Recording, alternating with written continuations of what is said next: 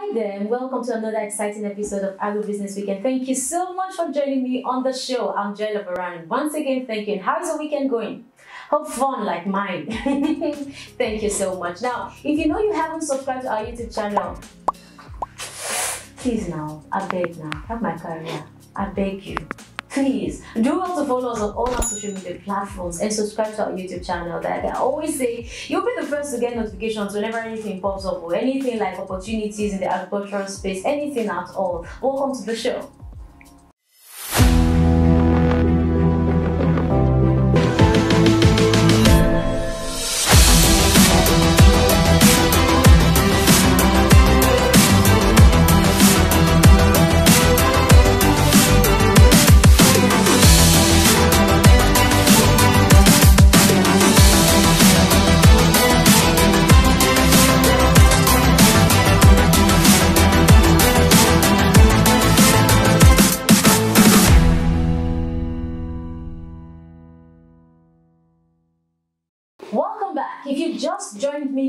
Time. This is Agribusiness Weekend, and um, today, you know, because cocoa has a very big world market, it makes it one of the most lucrative agribusiness that any investor can come in and thrive. So, what are the opportunities? What are the challenges? How can you manage them? These are many more we're going to be discussing today on the show. And um, on set with me is the founder of Viadutos Farms, Jinmi Ajayi. Thank you so much for joining me on the Thank show. you very much for And having thank me, you, Joy. you look good. Tell me you're a Thank you farmer like much. this. I can't believe that. I am a farmer, Can a proud imagine? farmer at that. I am a farmer. See, can you imagine? no, just imagine now. A farmer is dressing like this. So we've gone past the age of wearing tattered rags, you know, because so many persons think farming associated with poverty and all those Um, stuff. you see, that's a wrong perception. And then, I mean, we also encourage that, especially because of the dependency model that we've pushed over the years, you understand? But the truth is,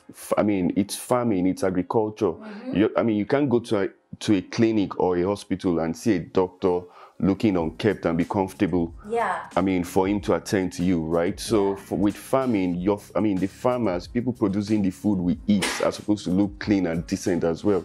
And not just us, the farm owners, but even the farm hands, the guys working on the farm directly handling the crops and all. So it's very important a whole new phase as, as it should be. Yeah, Jinmi, so let's talk about cocoa farming in Nigeria. Now, for an individual that is, um, okay, before I come there, Okay. tell us what is the economic um, viability of cocoa farming in Nigeria? Cocoa has good prospects. However, just like any business, and especially in agriculture and agribusiness, Okay. there are lots of um, considerations. You just, you, I mean, you simply don't go into cocoa farming because you heard a friend or someone say they made a fortune out of cocoa. Yeah. They definitely would have put in a lot of work. Okay. And also, there are so many considerations, like I said. So, agriculture.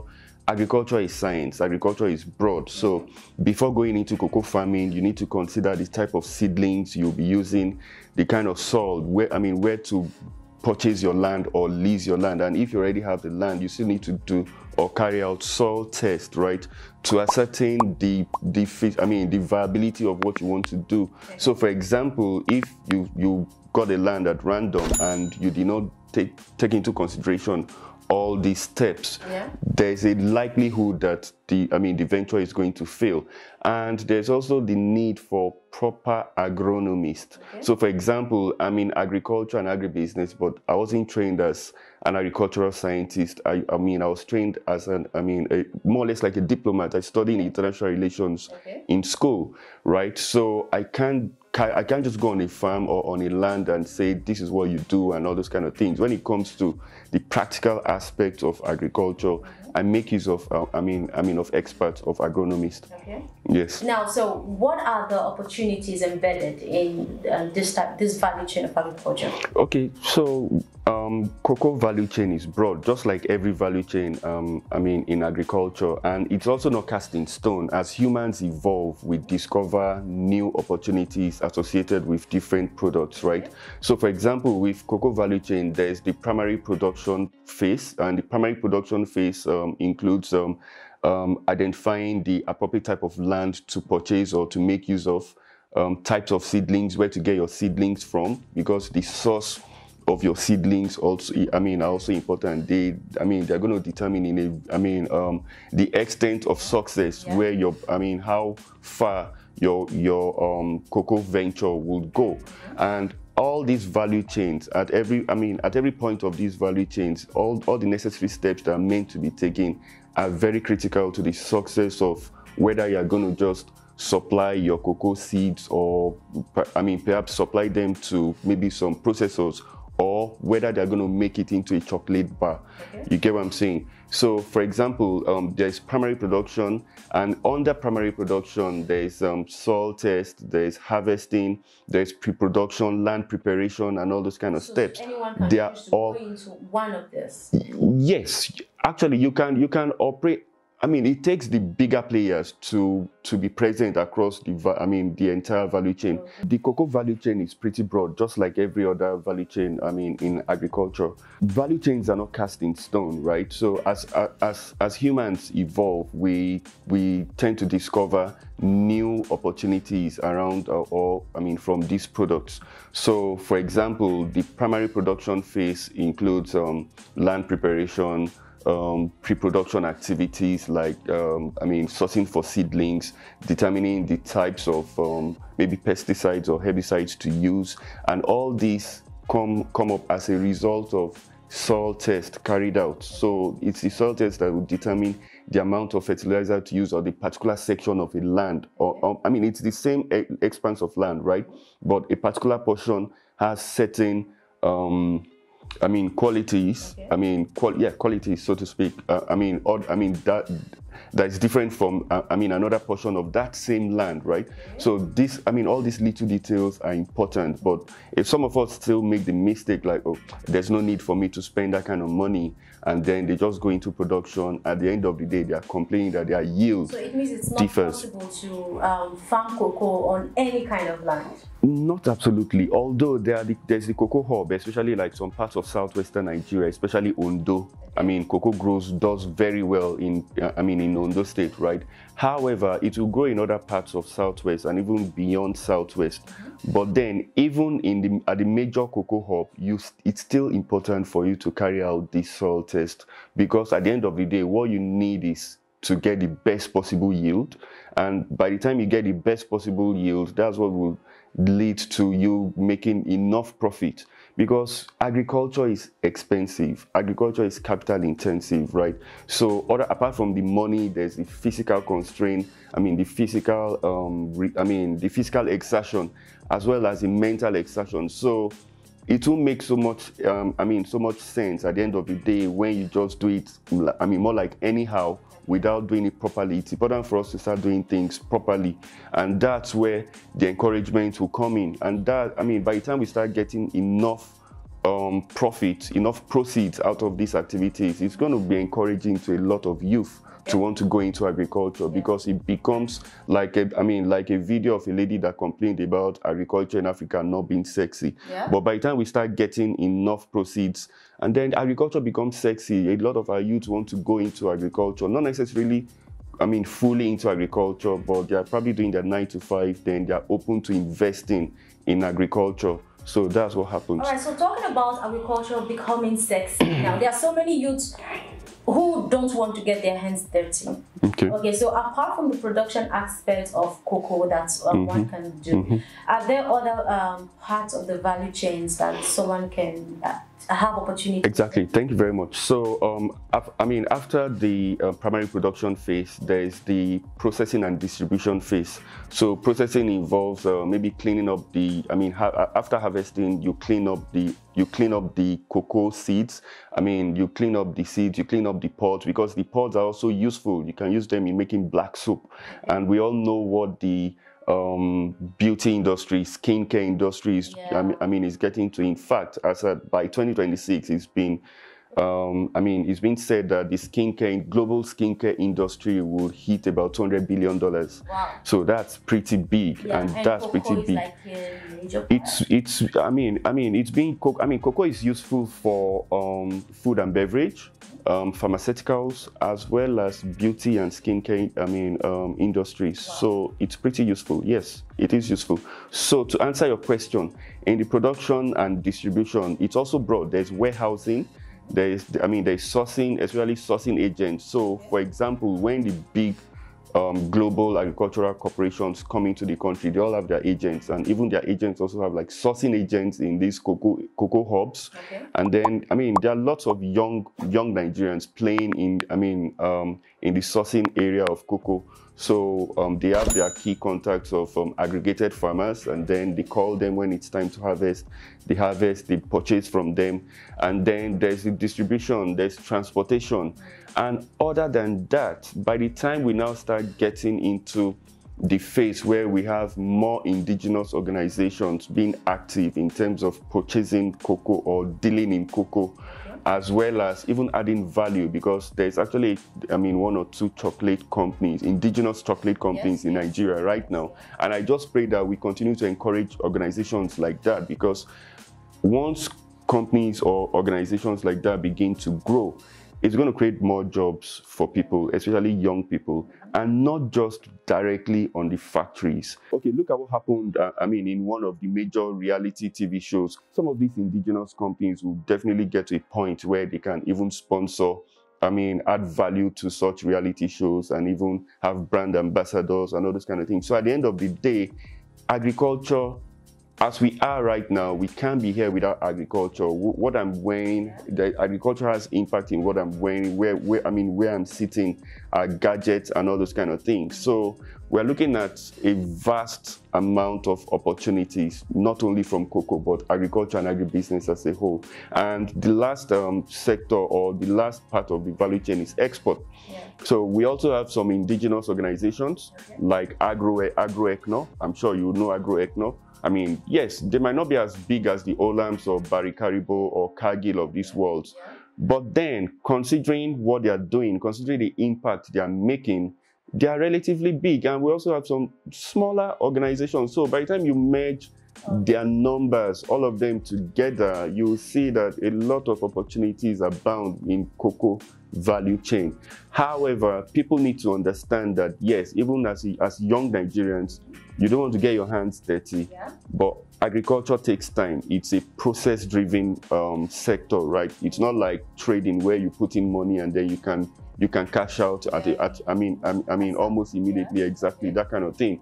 So you need to be patient, understand the entire value chain before going into it, and even when you go into it, you you should really understand that it takes time and then you you probably will make your profit like a lot of money immediately but you build over time. And it's it's it's it's, it's um, certain that over time the money will come in if you do it well. If you do it well, if you do it well. If you are not involved in unethical practices yeah. if you don't cut corners because okay for example we've had um, cases where people mix different types of other materials uh, into their cocoa seeds and all, you understand, so just so they make weight.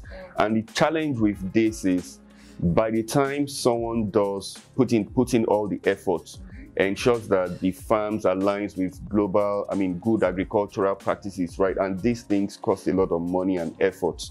So by the time, I mean, maybe a, um, a particular commodity from Nigeria is, is red flagged or blacklisted, you are i mean you are causing harm or havoc to for other people exactly.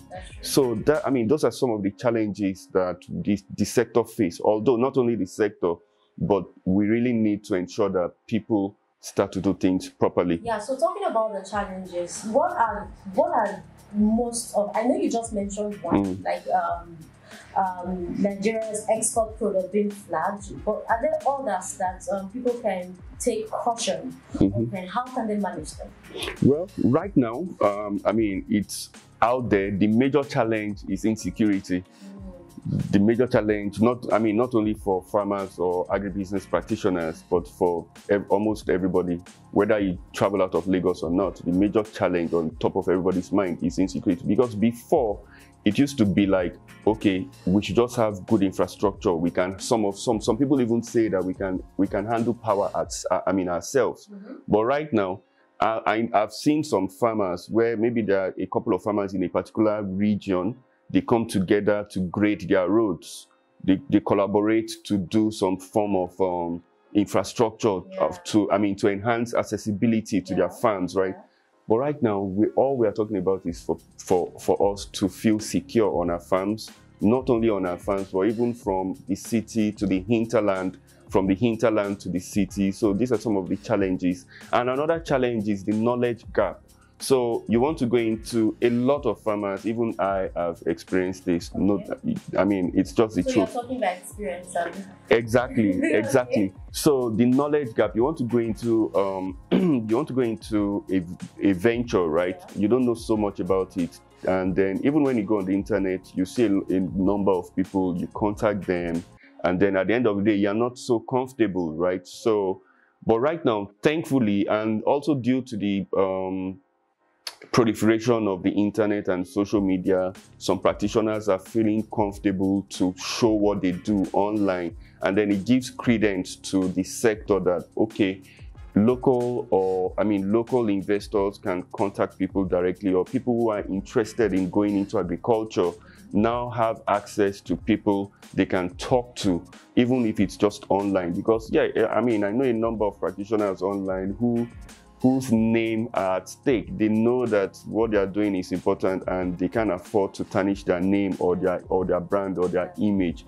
So this also gives some form of credibility and confidence to Nigerians in the diaspora because a number of them want to do something in Nigeria.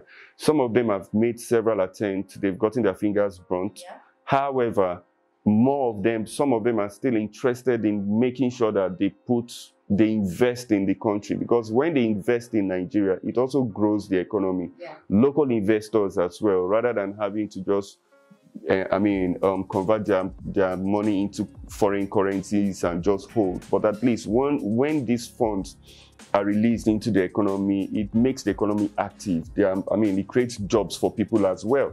And I mean, I'm going to take us back to the value chain we discussed. So, other than the fact that um, we need to understand the value chain, these activities are also opportunities to create jobs. So, imagine, okay, look at Lagos Ibadan. There are several warehouses on that road. Some of them are moribund, right? And the same thing exists in some of these major hubs, even in Ondo State and Ekiti State and other places. So you see some some warehouses where I mean that are more or less like moribund. So imagine if the sector or if the sector was very active, you understand? If the sector was very active, some of these warehouses will, will be operational. And when they're operational, they'll probably, I mean, employ more people, even something as that, I mean, that might seem trivial, if, although it's not trivial in logistics, but to the layman, it might look trivial. I, I mean, something as trivial as a fork, forklift driver, right? I mean, these are jobs that, I mean, that will make people earn a living and even cater for their families, or even if they don't have families, you are driving a forklift and then you, you have a decent income to also move on in terms of, of your career and ambition. So that's just it about, um, I mean, about the value chain. And um, considering um, the knowledge gap as well, we also need to do a lot of research. So when you look at Cocoa Research Institute of Nigeria, I mean, in Oyo State, in, in Ibadan, in Oyo State, you would see that that place was created with, I mean, the place used to have a lot of potentials. However, just juxtapose it to some of the, even in Oyo State, in Ibadan, right there, there's another organization, private though. Put them side by side, visit both of them. You see that one of them is, I mean, one of them has lost its, I mean, its essence. You understand? So all those things are not supposed to be. It's supposed to be a research institute where a lot of activities will be coming out of i mean will, i mean will be taking place and a lot of information really relevant information will come out of exactly Alright, so let's have a short break. When we come back, the show continues. Make sure you don't go anywhere.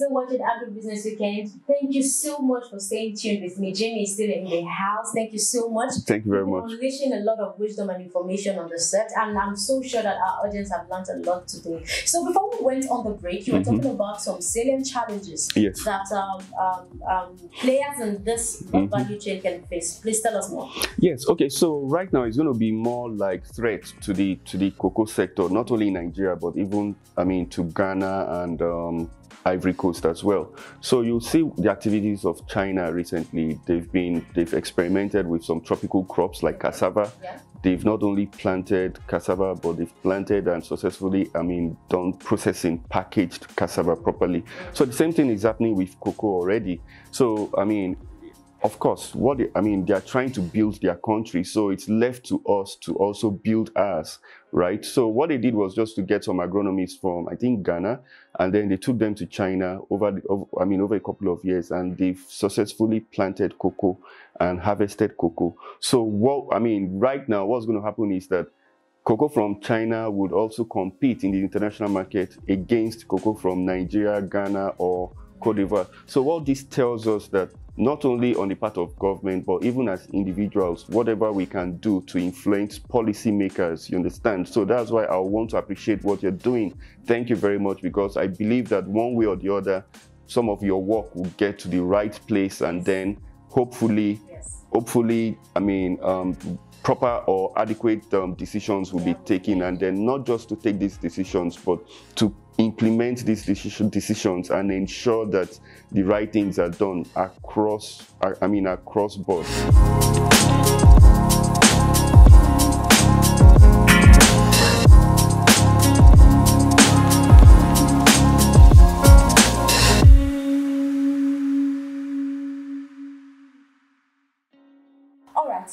Thank you so much, Jinmi. Thank you very so, much. Um, I know you. Um, before we go, Mhm. before you will allow you to leave the show, let's have some fun with you now. Come on, right, my audience. Is that so?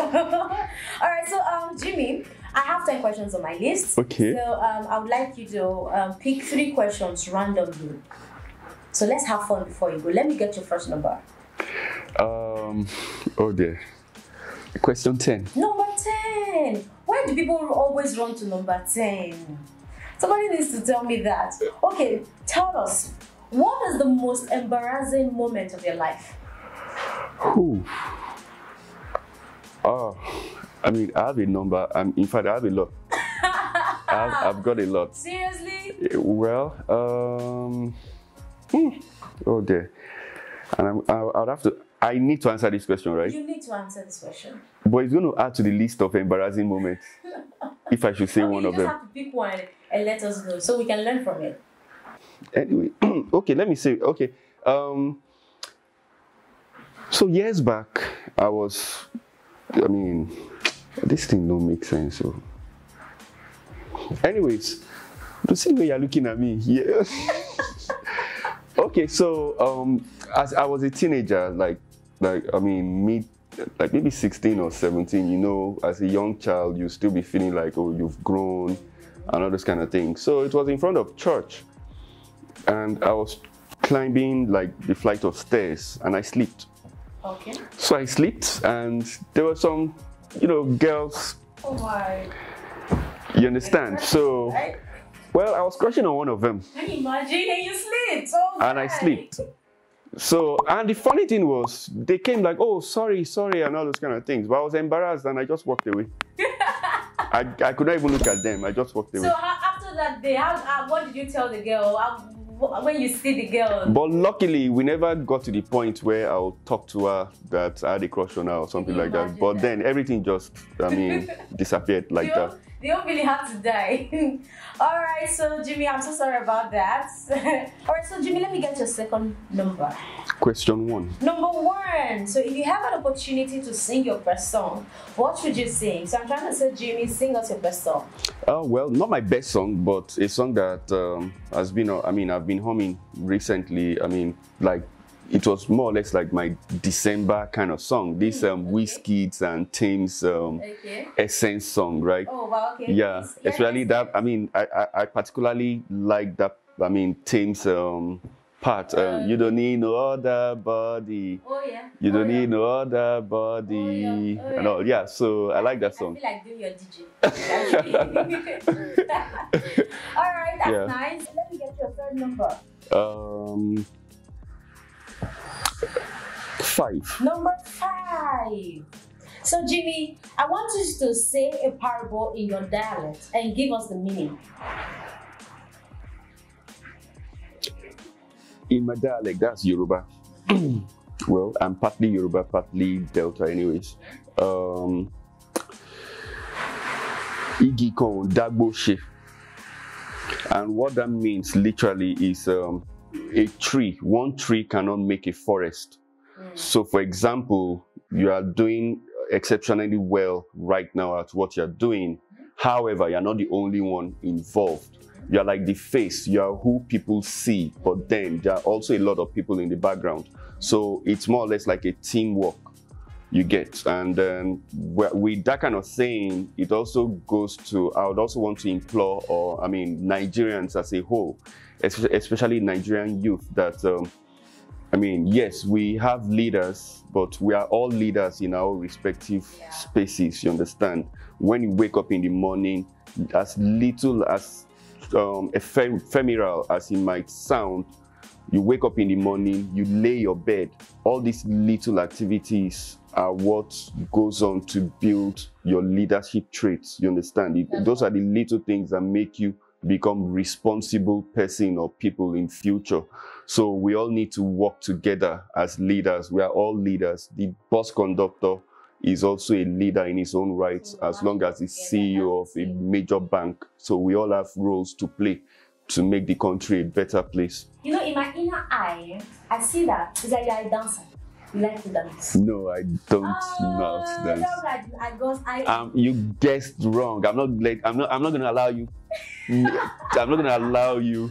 Tell me to stand up because and I've dance. just told you, can you give us a dance step? You know? Well, unfortunately, I didn't come with my dancing shoes. Ah, oh, so are you serious? So there's a dancing show. Once again, Jinmi, thank you so much for coming to the Agro Yes. Business show. We had a lot of fun with you, and um, on behalf of I and the Agro Business oh wow. We want Okay. you this package to say thank you for coming. Thank you very much. What you're doing, thank you so much. Thank you very much, Joy. And I mean, I'm truly grateful for this. I'm sure I'm going to frame it or whatever it is. I'm going to ensure to keep Yeah. it. So Not even my saying, ah, when you check inside this bag, hey, hey, you know that we have packages for you. oh, fantastic, fantastic. You can check fantastic. Oh wow. Okay. Nice. Yeah. Nice. You Okay. saw the key to the house. exactly. The key to my mansion. All guys. right. Thank, Thank you you. so much once again for um, being on the show with us. Thank you so much for coming along and thank you so much for staying tuned with me. I'm so sure that you've learned a lot from today's episode of Agribusiness Weekend. Till I come your way next time, please remember to follow us on all our social media platforms and please click that red button over there. If you know that Agribusiness Weekend has an impact to, to your business life, please click that button over there and click on the notification button too, so you can be notified whenever anything pops up on the show. I'm Jennifer and do have a great weekend.